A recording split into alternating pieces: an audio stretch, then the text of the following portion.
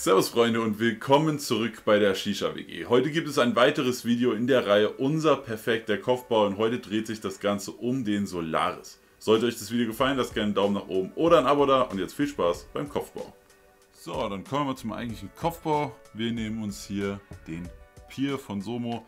Da drehen wir jetzt nämlich gleich noch das Review zu. Wie immer, wenn es eine Dose Tabak gibt, erstmal schön umrühren, damit ihr die Molasse auch schön hier verteilt.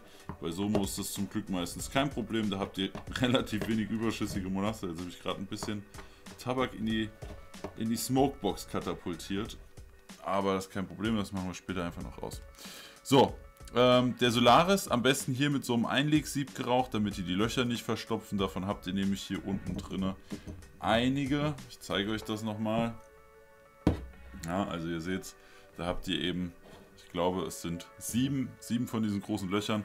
Da könnt ihr halt relativ easy Tabak reinrutschen, deswegen legen wir da noch so ein Sieb rein. Dann habt ihr da auf jeden Fall absolut keine Probleme und könnt einfach gar nicht die Löcher verstopfen mit eurem Tabak. Ich mache das dann so, dass ich mir den Tabak hier vorne so an die Kante von der Dose schiebe und dann einfach locker reinfallen lasse.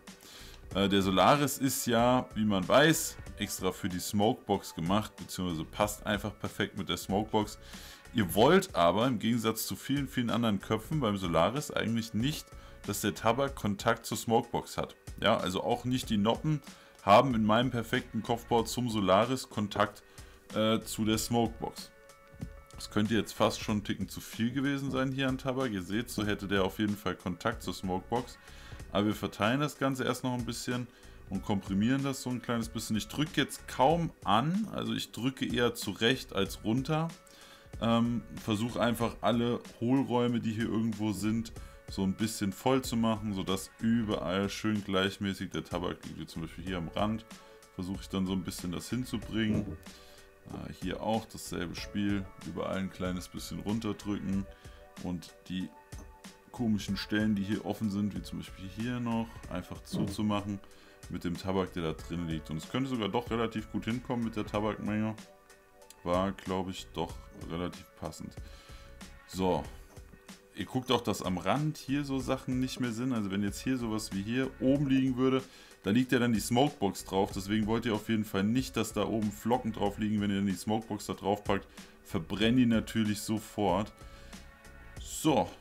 Ja, ihr achtet einfach drauf, dass nichts absteht. Manchmal gehe ich auch nochmal mit dem Daumen rum und drücke so ganz leicht diese kleinen Fetzen an, die oben sind. Äh, hier würde ich das zum Beispiel noch ein kleines bisschen runterdrücken. Und so sollte das Ganze passen. Ihr seht, ja, es ist ungefähr bis hier so geht der Tabak, so viel lasst ihr dann frei. Ähm, ja, und wenn man jetzt eben die Smokebox draufsetzen würde, sollte nichts an den Noppen hängen, nachdem ich ihn wieder abnehme. Und da ist auch nichts dran. Ja? Also so macht ihr dann das Ganze. Packt dann noch die Smokebox oben drauf, zwei Kohlen rein und dann sollte das Ganze wunderbar laufen. Ich würde sagen, wir testen das jetzt nochmal beim Rauchen und dann schauen wir uns das nochmal an. So, den Kopfbau habt ihr gesehen. Der Kopf ist auch mittlerweile an. Wir hatten erst am Anfang zwei Kohlen in der Smokebox und eine oben noch mit Kantenbasis obendrauf, bis der Kopf ordentlich heiß war. Dann haben wir die dritte Kohle runtergenommen und jetzt läuft er mit zwei Kohlen. Der Durchzug ist ziemlich geil. Klar, wenn ihr so fluffig baut, wie ihr das eben im Kopfbau gesehen habt und ein Sieb benutzt, dann kann da auf jeden Fall nichts passieren. Dann läuft das wunderbar. Es schmeckt auf jeden Fall nicht angebrannt, schmeckt sehr, sehr angenehm nach dem Tabak. Es ist ja auch kein Overpack, kein Kontakt von der Smokebox zum Tabak ist da. Deswegen läuft das wirklich wunderbar. Also Durchzug gut, Rauchentwicklung, die seht ihr ja schon nebenbei. Ich finde, da kann man sich auf jeden Fall nicht beschweren. Für ein Nicht-Overpack oder Vollkontakt-Setup finde ich die Rauchentwicklung auf jeden Fall ziemlich gut. Und ich rauche den Kopf wirklich sehr gerne. Er ist easy zu bauen. Es geht fast jeder Tabak gut da drin. Ihr könnt sogar teilweise Dark Blend da drin rauchen. Besser als in anderen Mehrlochköpfen, finde ich. Und ja, ich mag den Kopf einfach sehr, sehr gerne. Easy zu bauen, easy zu rauchen. Viel mehr gibt es da von meiner Seite aus schon gar nicht zu sagen. Ja, was hast du zu dem Kopf? Ja, es ist auf jeden Fall ein wunderschöner Kopf. Man muss auch sagen, der Kopf kostet nur 15 Euro. Stimmt. Das ist auf jeden Fall ein krasses Angebot. Also die meisten Köpfe, die jetzt schon so in die hochwertige Phase gehen, die sagen, da sagt man so, ja gut, 20, 25, vielleicht sogar 30 Euro für einen Kopf. Jo. Und bei 15 Euro für so einen guten Kopf ist es auf jeden Fall ja, eine Kaufempfehlung wert. Also wer ihn noch nicht zu Hause hat, kann ihn dann auf jeden Fall mal gerne zu Hause probieren, beziehungsweise sich einen kaufen und dann probieren.